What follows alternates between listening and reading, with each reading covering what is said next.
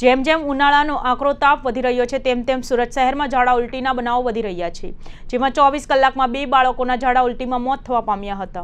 સુરત શહેરના છેવાડા વિસ્તારમાં રહેતા સચિન અને ગુડદ્રામમાં ઝાડા ઉલટીથી બે વર્ષના બાળક સહિત બેના મોત થવા પામ્યા હતા, જેમાં બિહારના ભોજપુરના વતની અને સચિનની જીઆઈડીસીની તિરુમાલા સોસાયટી ખાતે રહેતા ચેતનનો બે વર્ષનો પુત્ર ઝાડા ઉલટીમાં મોત થવા પામ્યું હતું. બાળક વિષ્ણુને અચાનક જ ઝાડા ઉલટી થવા માંડ્યા હતા, જેને ઉનપાટિયા ખાતેના ખાનગી ક્લિનિકમાં વિષ્ણુને સારવાર માટે લઈ જવામાં આવ્યું હતું. જ્યાં વિષ્ણુની વધુ તબિયત બગડતા તેનું મોત થવા પામ્યું હતું, જ્યારે બીજા બનાવ ગોડદરાના ગોપાલનગર ખાતે બનવા પામ્યો હતો, જેમાં અઠ્યાવીસ વર્ષીય મહિલા કલાવતીબેનને ઝાડા ઉલટી થતાની તેની તબિયત લથડતા વધુ સારવાર માટે હોસ્પિટલ ખસેડવામાં આવ્યા હતા. જ્યાં સારવાર દરમિયાન મોત થયું હતું.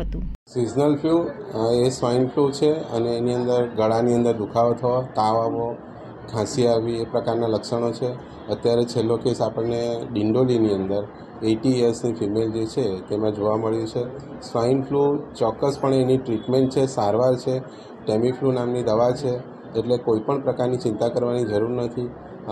વાયરલ ઇન્ફેક્શન છે એટલે જે પણ કેસીસ આવે છે, તો તાત્કાલિક કોર્પોરેશન દ્વારા ત્યાં ટીમ મોકલવામાં આવે છે, એના ફેમિલી કોન્ટેક એના સોશિયલ કોન્ટેક અને એના ઇવન જે કમર્શિયલ કોન્ટેક છે, એટલે જ્યાં કામ કરે છે, એ બધા જ ક્લોઝ કોન્ટેક્ટને આપણે પ્રિકોશનલી સારવાર આપીએ છીએ અને એના લક્ષણો પણ તપાસે છે અને જરૂર લાગે તો આપણે એ લોકોના ટેસ્ટ કરાવીએ છીએ. તો સ્વાઇન ફ્લૂ એનાથી ગભરાવાની જરૂર નથી અને ચોક્કસ એની સારવાર ઉપલબ્ધ છે અને ફક્ત જે આપણે અગાઉ કોવિડ વખતે પણ ધ્યાન રાખતા હતા કે ખાંસી આવે અથવા છીંક આવે ત્યારે આપણે હાથમાં રૂમાલ રાખીએ અથવા બીજી તરફ મોં કરીએ.